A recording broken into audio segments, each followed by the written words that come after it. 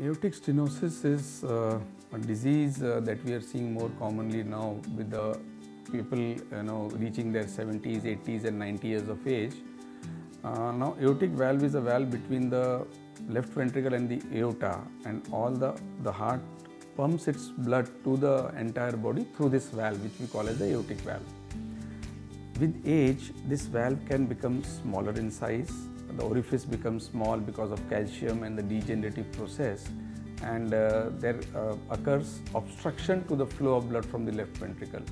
When this becomes significant, we call it aortic stenosis.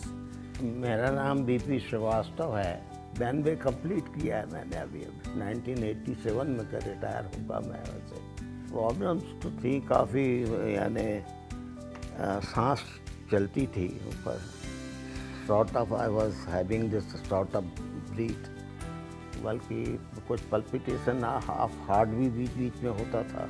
This patient mister Srivastava he has been my old patient for a long time I been seeing for last maybe fifteen years and it was seven years back when we decided that his aortic stenosis is severe he had chest pain breathlessness dizziness and he also had repeated episodes of GI bleeding, you know, which is common, uh, colonic bleed is common in aortic stenosis.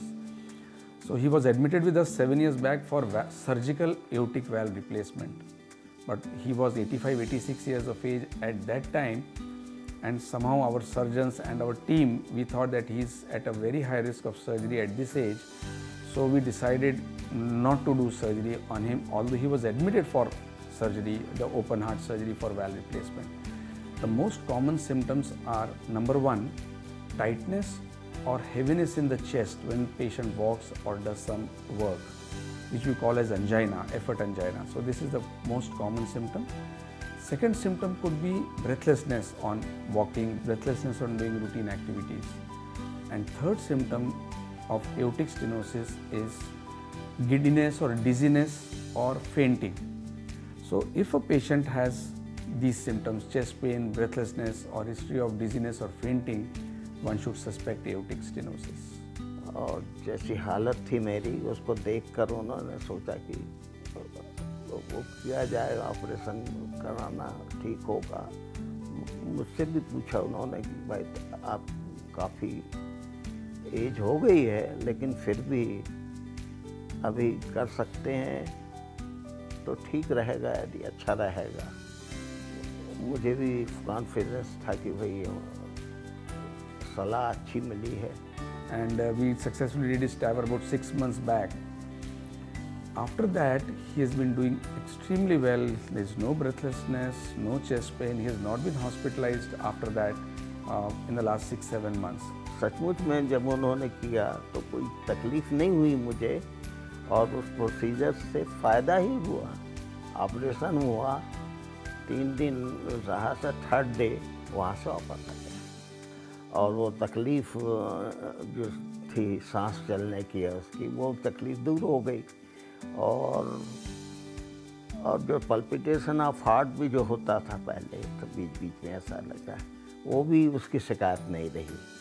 So it has been a very rewarding procedure both for us as the treating team and for the patient. Uh, And uh, this patient was uh, a, is a very active patient, very enthusiastic patient. Uh, in fact, on the day when he got admitted for aortic valve, uh, this TAVR procedure, it was the Lok Sabha elections and he actually cast his vote and then got admitted to the hospital for the procedure on the next day. And uh, at the age of 92, you know, one would say, you know, why should we do a surgery to, a, uh, to offer TAVR to a patient? But for otherwise very active patient, fully alert mentally, physically, uh, uh, and a patient who wants to, you know, have a good quality of life. I think uh, uh TAVR has exactly done that, you know, because post that he's been moving around without any chest pain, without breathlessness. Uh, he's had no uh, hospitalization. वैसे तो मैं walking भी थोड़ा बहुत कर पाता हूँ, चला जाता हूँ। पहले से, पहले तो जा ही नहीं पाता था, सांस चलने लगती थी थोड़े, थोड़ी देर चल, लेकिन अब अब वो चीज़ नहीं रही और थोड़ा सीढ़ी भी चढ़ पाता हूँ।